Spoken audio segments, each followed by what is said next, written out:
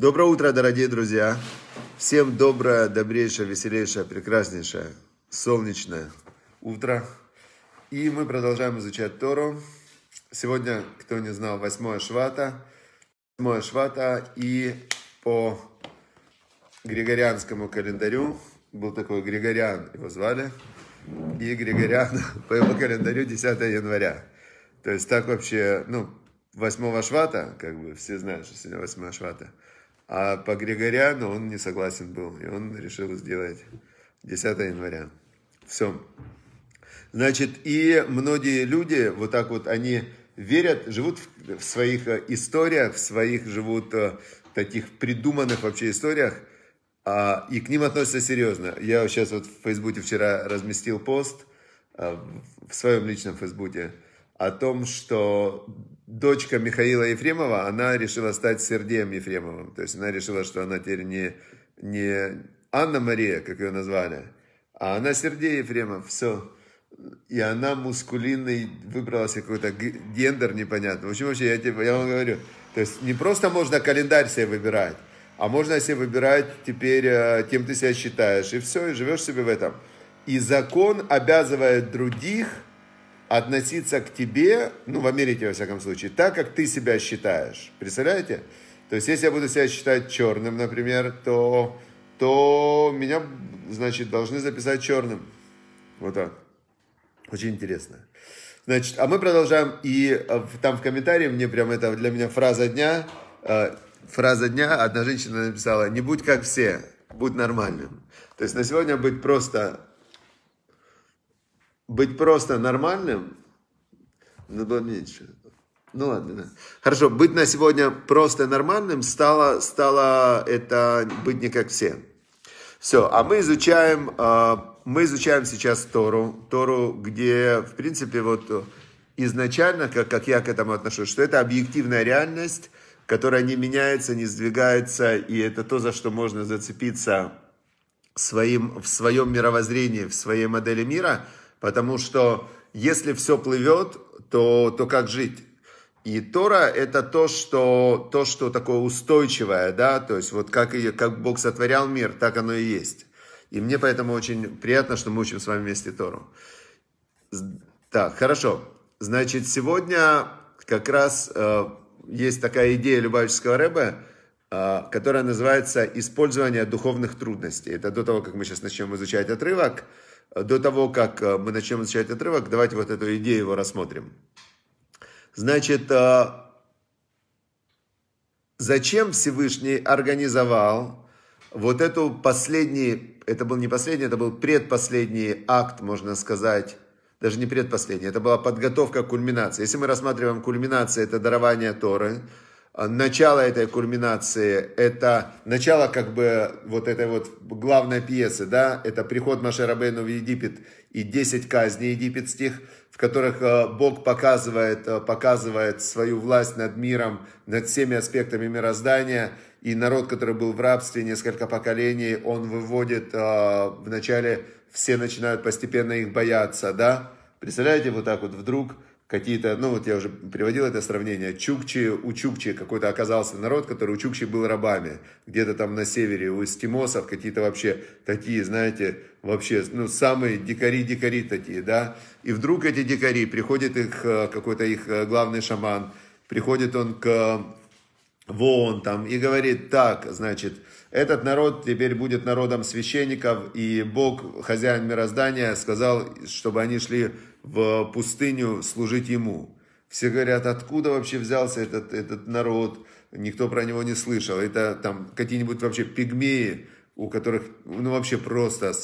В общем, смотрите, 10 этих было, год была подготовка, и этот, говорит главный их шаман, значит, Лявдель, да, чтобы разделить. Он говорит, сейчас будет вода в мире вся превратиться в кровь, потом вся значит, э, лягушка придет вон, и эта лягушка размножится, и весь Нью-Йорк будет в лягушках вообще, они будут лезть во все, во, везде они будут лягушки. Потом он говорит, в Нью-Йорке превратится в земля в, в овшей, и все превратится в овшей, и все вот, все Уолл-стрит, там, Манхэттен и так далее, все будет в овшах.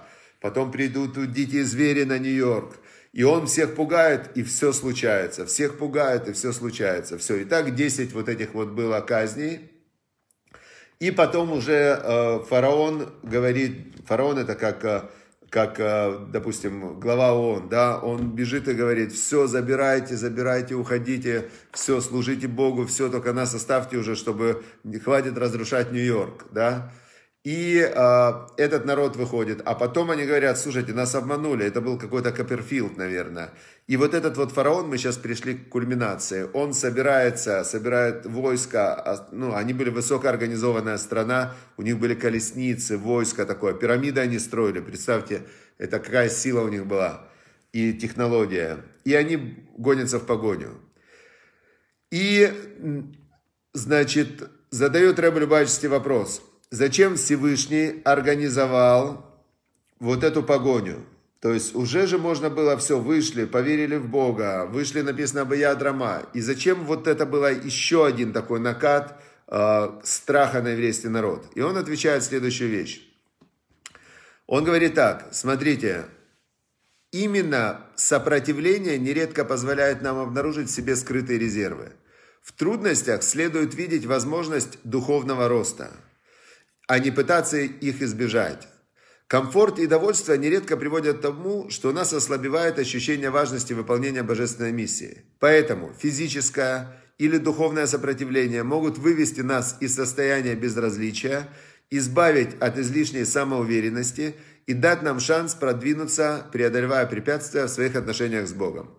То есть вот э, это как раз и есть э, та самая схема, которая работает, э, работает, вот мы видим ее сейчас в чистом виде. Когда мы изучаем Тору, исход из Египта, это Бог в чистом виде пришел в этот мир, и он показывает свое вот такое детальное, детальное проведение, да, то, что называется, когда он детально участвует во всех аспектах мироздания.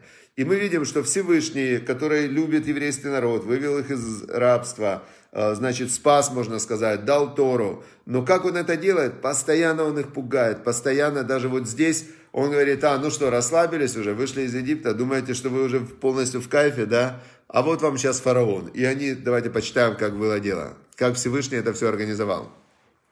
Вердефу Мицраем Ахараем. И погнались египтяне за ними. Вы ясигу там и настигли их. Когда они остановились лагерем, возле моря, и, значит, э, конь, конь и колесницы фараона, и за ним идет пешие его воины. И, значит, тут стоит их самый большой идол, которого, которого Всевышний специально, смотрите, как Всевышний все сделал, как, знаете, как когда есть э, режиссер, он оформляет сцену в театре, так Всевышний так оформил сцену, что они, все евреи, стояли и видели идола. И египтяне видели идола. И они думали, что вот этот идол, которого Всевышний не разрушил специально, он его оставил напоследок, что этот идол, он сильнее, чем Всевышний. И вот, значит, э, надвигается вот это вот египетское войско, значит, написано дальше, «У Паро и Крив, Ваисубна Израиль, Этенем». И Паро, фараон приближался. Э, есть мидраж предание, что они видели на небе ангела Мицраима, э, был сверху еще, так Всевышний показал, такой как страшный, такой как ангел, такая сверху как голографическая огромная фигура. И они видели евреев, видели этого фараона страшного в таких этих одеждах. Тут этот идол, тут значит, тут сверху ангел этого Египта над ними как бы возвышается, да? И написано, «Ваисуб на Израиля Тенеем» и подняли сыны Израиля свои глаза, глаза к небу в Ины Мицраем. А, увидели они в небе в начале вот этого ангела, который гонится за ними. Вайрумот, и очень они испугались. В Ицааку бне Израиль Эрашем. И закричали сыны Израиля к Богу. Значит, вот это и была кульминация вот этого момента, когда они начали молиться. То есть, зачем Всевышний делает все страдания, зачем Всевышний делает все все вот эти вот неприятности, для того, чтобы мы изо всех сил, от всей души закричали «Спаси, помоги!» Как э, есть Алель, такая есть на все праздники, мы говорим Алель, это такая специальная молитва восхваления Всевышнего. И там есть слова, в, значит, «Ана Ашем Ана», «Пожалуйста, Бог, спаси нас». Анна Ашем Ошиана, пожалуйста, Бог, спаси нас. Анна Ашем Ацлиха на. Значит, пожалуйста, Бог, дай нам э, успех, удачу. Анна Ашем Ацлиха на. Пожалуйста, Бог, дай нам успех. И вот я наблюдал э, по себе, когда все хорошо, когда все хорошо, то максимум, на что ты способен, это сказать, э, пожалуйста, Бог, дай мне удачу. То есть и то ты так и так говоришь, думаешь, да, нормально, я уже все организовал, все получится. Но нет, ну вот у меня никогда практически не было сильного воодушевления на словах «пожалуйста, Бог, дай мне удачу». Но если, я вспоминаю, бывают моменты, когда ты находишься в каких-то неприятностях, в трудностях, и в этот момент первая часть вот этой молитвы «пожалуйста, Бог, спаси», Пожалуйста, Бог, спаси. Иногда прямо от всей души туда вкладываешь, прям в душу кричишь прямо от всей души. Значит, э, другого варианта у Всевышнего нет к нам достучаться. И вот здесь тоже подняли они глаза. Есть известный псалом Шира Маалот. Это песня восхождения. Шира Маалот Эса Эйнай Элаарим Ман Яво Изри. Этот псалом говорят в минуты опасности. Я не помню, какой номер. Я помню его наизусть. Это очень такой мой, один из любимых моих псалмов. А, значит, а, Шира Малот, Эса Эйнай Элаарим Ман Яво Изри. Значит, подниму глаза я к горам, откуда придет помощь мне. Эзри Мимашем Осе Шамаем Ваарец. Помощь мне придет от Бога, который сделал небо и землю. Небо и землю.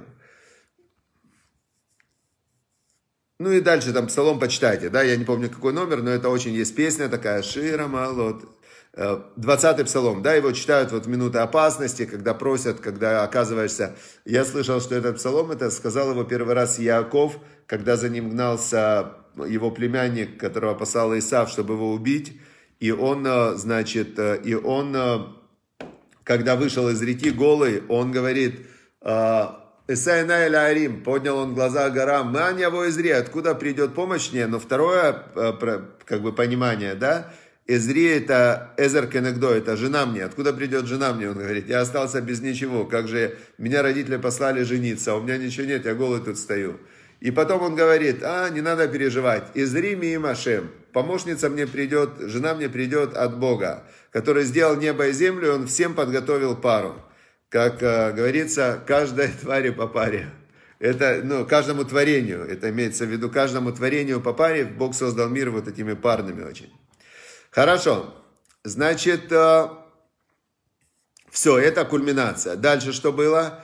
И сказали они, и тут вот поведение человека. Смотрите, архетип поведения человека в минуту опасности. В минуту, когда он попал в какую-то э, яму, он в этот момент что ищет? Он ищет виноватого.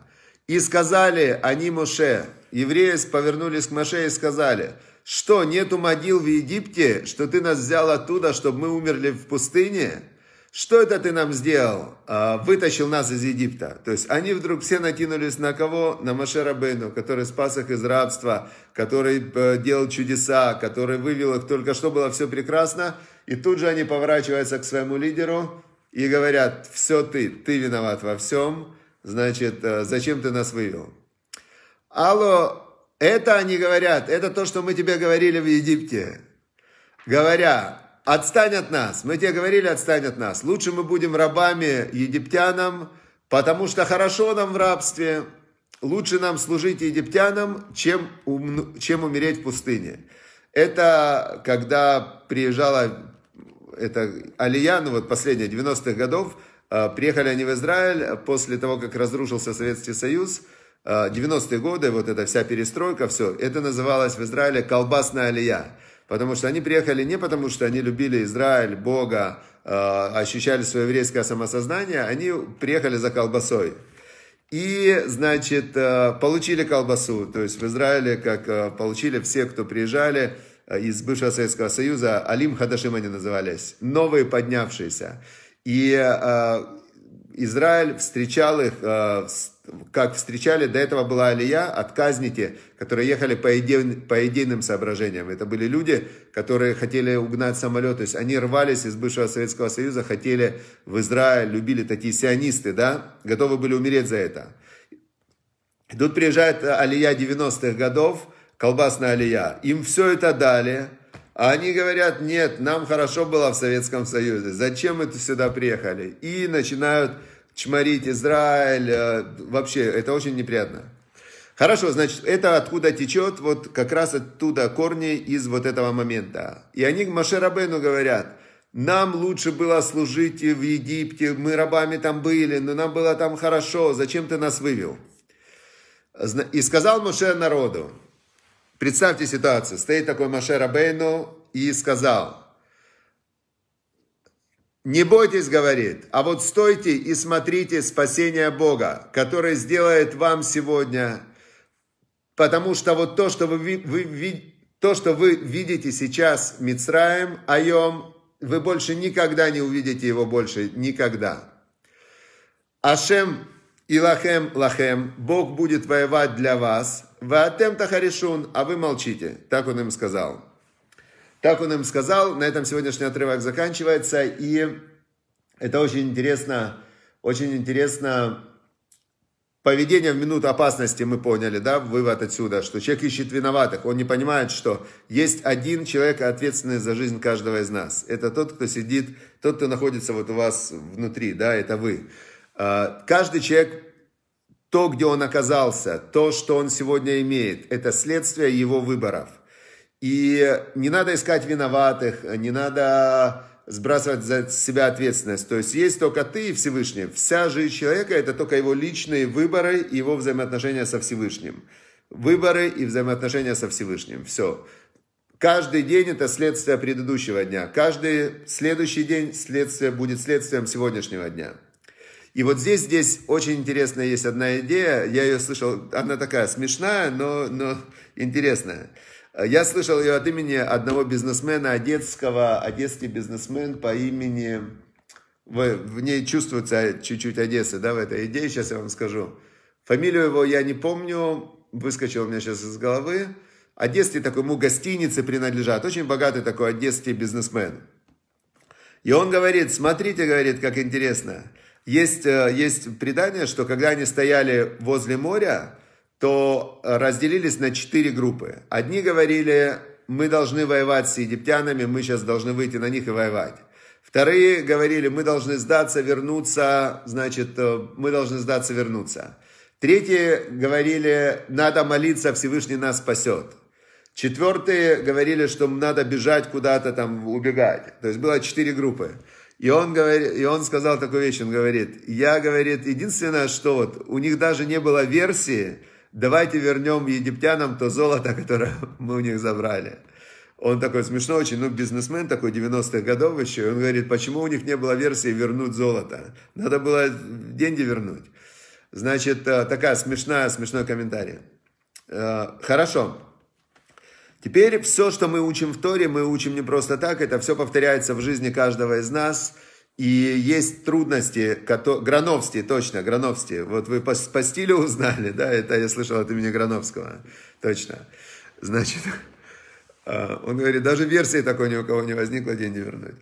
А, интересно, что здесь, что все это повторяется в жизни каждого из нас. Есть трудности, и в эти трудности ты включаешься, просишь Всевышнего, включаются какие-то силы, духовные силы, ты растешь, ты преодолеваешь, у тебя есть опыт.